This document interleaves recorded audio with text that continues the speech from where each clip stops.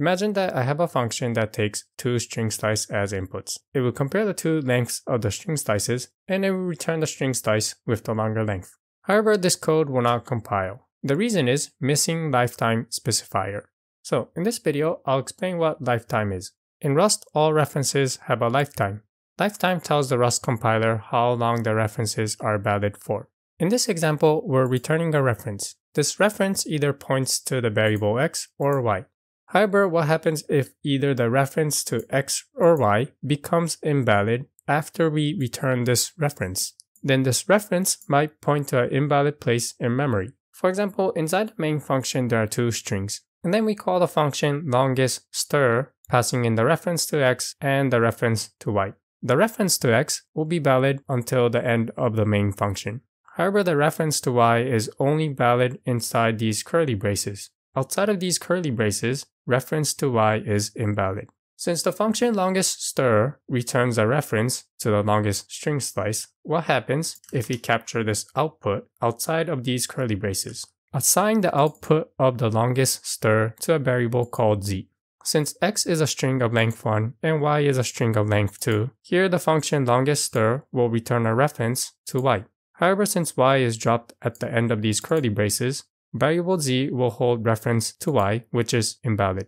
So trying to use z outside of these curly braces is invalid. This is what can go wrong with our current implementation of the function longest stir. It returns a reference, and this reference may become invalid. To fix this, we need to tell the Rust compiler that as long as we use this reference that is being returned, both the reference to x and y will be valid. To tell this to the Rust compiler, we annotate these references with a lifetime.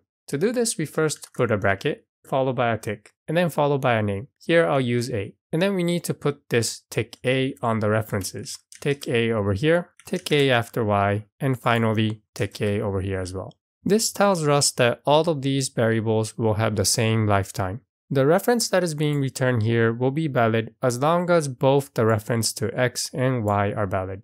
Now that we specified the lifetime for our function longest let's go back to the main function. The code does not compile here since the reference that is being returned, which is z, lives longer than the reference to y. y is dropped inside these curly braces. However, z is assigned outside of this curly braces. There are several ways to fix this. One way is to move this declaration of y to outside of the curly braces. And now both the reference to x and y are valid for the duration that z holds onto one of these references. Another way to fix this code is to move the declaration of z inside the curly braces. That's z equals. And then move any code that uses z inside the curly braces. Although y is dropped at the end of the curly braces, the code still compiles because the references to both x and y are valid while z is being used. z is only used inside these curly braces. Inside these curly braces, both the reference to x and y are valid. So that is lifetime in Rust. All references in Rust have a lifetime. It tells the Rust compiler the minimum time and the duration that the reference will be valid for. And it's used to ensure that references remain valid while the code is being executed.